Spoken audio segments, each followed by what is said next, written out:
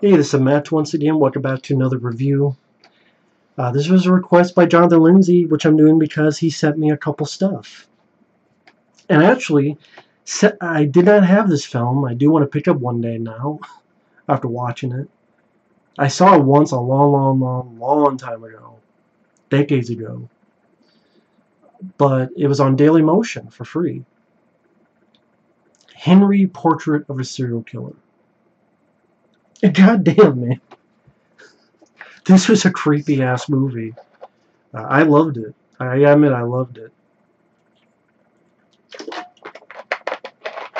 it might not be the typical kind of movie I would watch, but to me it was done so well that what is done that well, you just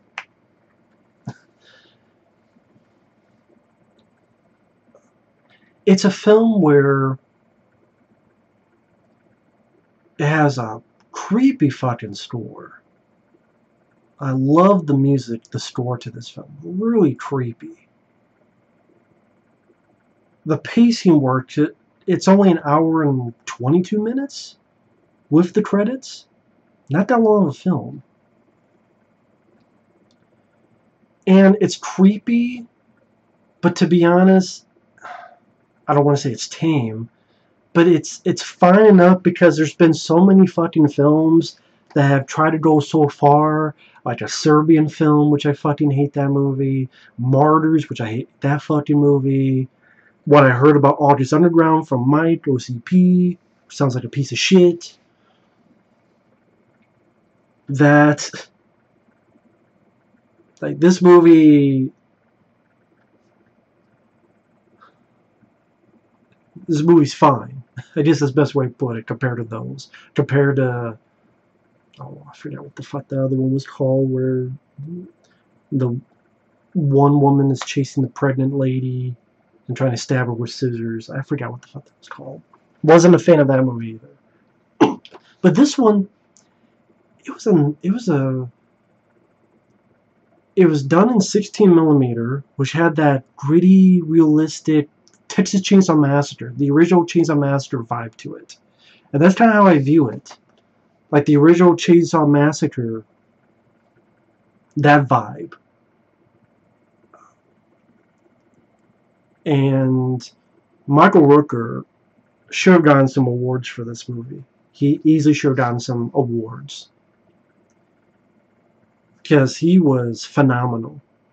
Excellent. Scary as fuck in this movie. And not over the top. Not quite the opposite. He was chilling in his role as Henry. The movie also has Tom Towles, which I think he passed away sadly, as a buddy of his named Otis, and John McNaughton, I haven't seen too many other films he's done. I know at one point they wanted to do a prequel to Nightmare on Elm Street with Robert Englund, which, if it was done like this, that'd be nice. But and I'm going to say the year is 1986. Technically, it came out in 1990 because for years the MPA would not give it an R rating and then it was fighting it for years, and finally it was released in limited. But most places technically say it's a 1986 film. So I'll just put it as that for the sake of argument. And you know what? Honestly, this film would be an R today. Compared to the shit that comes out, this would this would get an R rating today. It would because there's violence, but it's nothing that honestly you've seen worse stuff in Friday the 13th films. Because the violence you get is like a TV on a guy's head and some blood comes down, uh, stab in the eyeball, get in the head, put in a sack, and some really creepy looking shots of aftermath. A lot of it's aftermath. of dead bodies. And that's in like the first 15 minutes. I'm like, man, this is fucking creepy. Because the score is fantastic. And then you see Michael Rooker going about his business and, you know, being nice to a waitress, leaves. But then other places, it has aftermath, dead bodies. Like two dead people in a bar. There's a dead woman in a ditch there's this one really creepy image where a, a woman's dead in the bathroom and she has a fucking glass bottle in her face. And then in the soundtrack, this creepy music mixed in with like screams and we're hearing what had happened. Not seeing it. We hear bits of what happened and the aftermath. I'm like, man, that's an interesting way of doing it, and it guy did it well. And it's like telling a story of his rampage and his dealings with not really much of any dialogue.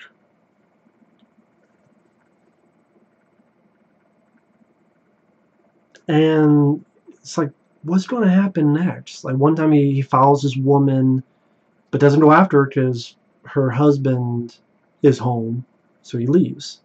Like I said, Tom Towles is his buddy, and they were in prison together. Tom Towles' sister has come into town and is going to stay with them. And Henry, like, he's, he's, I don't know if easygoing is the right word, but in a way it is, but he's very cool but yet you just feel the vibe that he's simmering and I'm like, yeah, that, that's a fucking crazy guy. I mean, even to the point where Otis, Tom Towles' character, tells his sister, now don't tell him I told you this, but yeah, he was in prison for killing his mom. And so he leaves and she's with Michael Rooker and she tells about her past that her father touched her and raped her. And then says you know did you kill your mama? And just Michael Rooker's performance I guess I did. I stabbed her. Oh well he said that you hit her with a baseball bat yeah and you realize his story keeps changing. You know how in The Dark Knight the Joker kept changing his story about how he got the scars on his face? I wonder, and this is a fucking pie in the sky thought, this reminded me that I'm like, did someone see this movie and get that for, for the Joker? That, you know, the story keeps, probably not. I mean, I'm sure there's hundreds of movies that did. But I don't know. I just that was the first thought I thought of. The first thought that came to my head. I'm thinking, yeah, his story does keep changing because told the guy did with a baseball bat, shot her. That's what he's. He says stab her. Then later on says he shot her. And then you're wondering, did he kill his mom? Did he in fact kill his mom? Did he not? He obviously doesn't remember well. And doesn't seem like he's trying to lie about it. It seems like he really believes it. And then it just how crazy this guy is where one minute he's Otis is trying to fill up his own sister and Michael Rooker just grabs him. Don't do that, Otis. It's your sister. Now tell her you're sorry. Now tell her you'll never do it again. He's defending the woman, but then, I'll get to that in a minute. and like the he brings Otis into his killing spree. And Michael Rooker explains it with, "Look at the world, Otis. It's either you or them." I can't do it justice. and then this home invasion, or before that, the the TV set. They needed a new TV set, and the guy keeps fucked with them and acting like an asshole. So then they take this thing, I forget what the hell it was, and like start stabbing the guy and then picks the TV, slams it on the guy's head, and they steal this video camera and TV that he had. And again, this I mean that it does hold back in the right ways. Because you see them approaching a house and then it cuts to the footage they filmed of this invasion where they're ripping this woman's clothes and they're kicking this guy who's tied down and then the son comes in and Rooker drops the cameras, having him down, snaps his neck and it was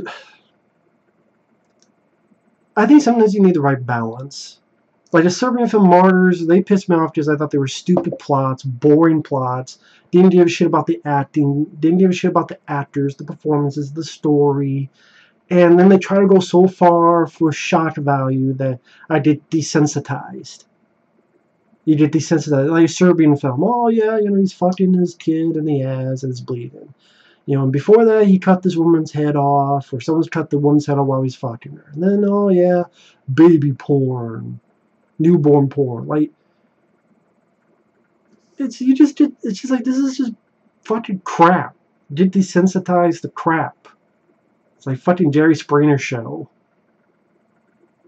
But here you don't. To me, you don't, and it remains more creepy and less stupid.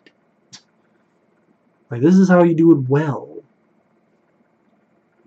And the creepiest part is when Tom Towles starts rewinding it the tape. And Buck Rooker goes, What are you doing?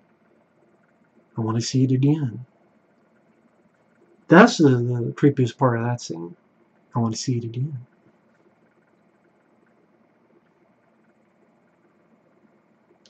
Then movie leads another, and Tom Towles starts raping his sister, and Henry beats the fuck up of the guy. And she stabs her brother in the eye, and Henry stabs Otis you know, in a way, Henry's doing the right thing. This guy was raping his own sister, and he stopped the guy and come up, dump his body in a suitcase. and then you're thinking, okay, maybe he's reformed. And it's like, no, he's not reformed. Because they're driving, she goes, I love you, Henry. It's like, I guess I love you too and then they go in a motel and they leave and it's the way it was done was bone chilling where he takes that fucking suitcase out of the car and leaves on the side of the road and leaves in his car and the camera lingers on the bag and it's her bag with blood in it and we just saw what was done to someone in a suitcase so here's this woman who has a daughter at home She'll never know her mom again. This lady was nice and he liked her and saved her from rape. But then you're like, well, wait a minute. Why did he kill her? And then someone brought up a really, it's, it's an old, old, old story, which fits it perfectly the scorpion and the frog story. If you know the story, you know where I'm going with it. If you don't, this is the story.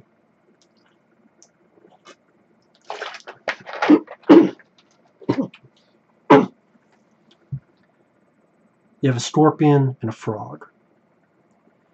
They need to go over this river in order to make it to safety. scorpion wants to get on the frog. And the frog goes, You sure? You're not going to sting me, are you?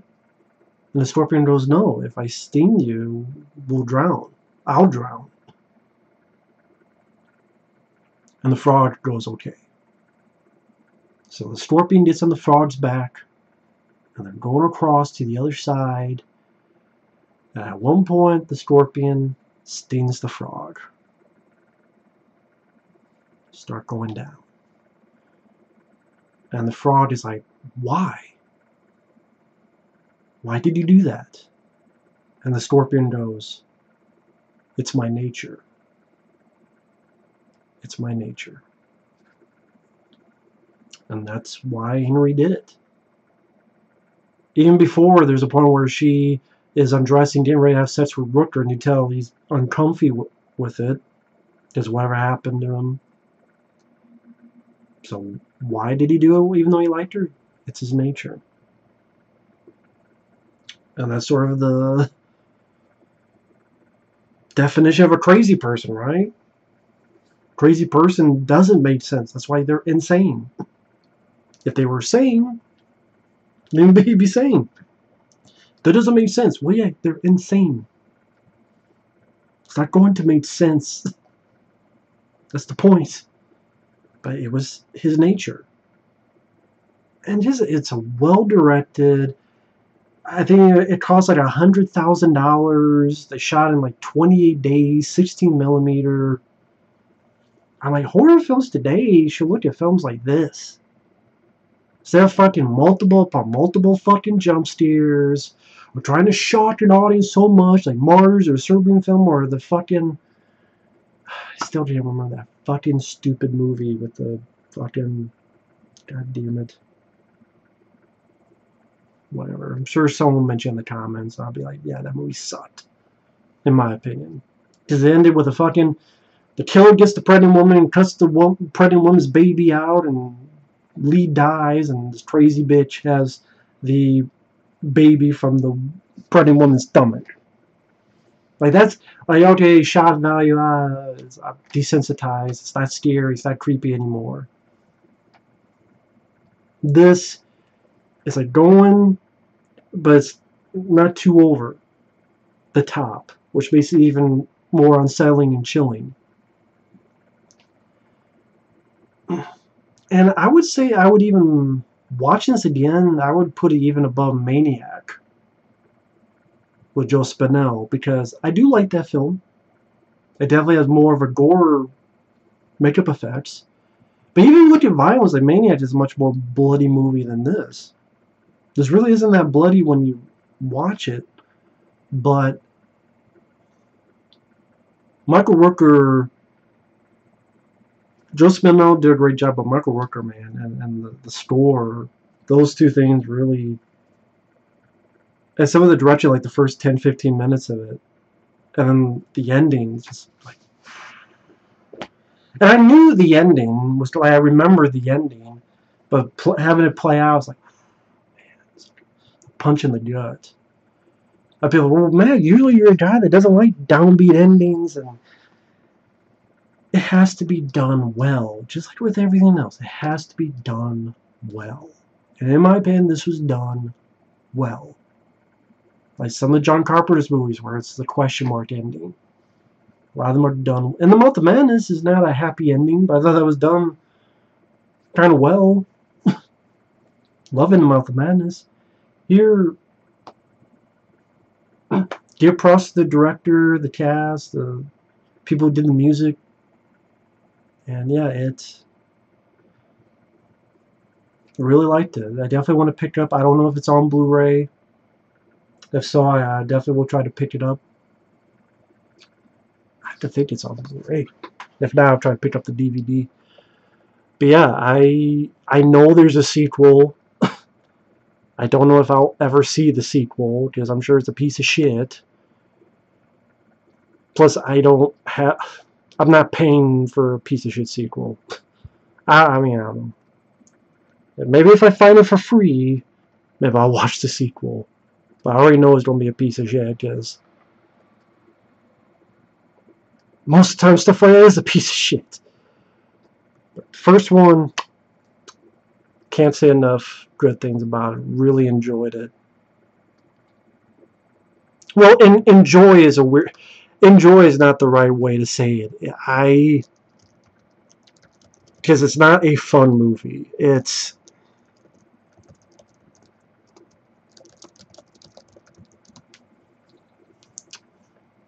It's a good piece of filmmaking. That's what I would say. It's a good piece of filmmaking and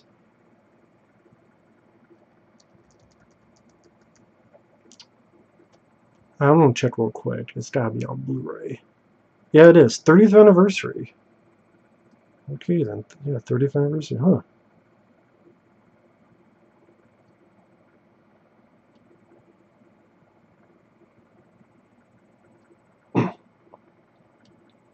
hmm.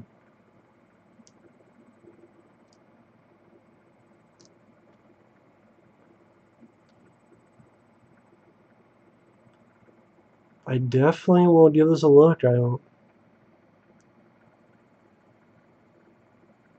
Hopefully, there's a documentary with interview with Michael Rooker. Even if not, I'll pick this up sometime. Yeah, but yeah, I, hey Jonathan Lindsay, I thank you because I would not revisit this film without that, and you know, I dear Trevor Traves do. It's I think it's a pretty fucking unsettling film. And I don't say that about a lot of movies, but it's it's pretty fucking creepy. So, yeah, movies today should fucking learn about that, how to do that right. But anyway, uh, thanks for watching. Take care, and we'll see you guys later. Bye-bye.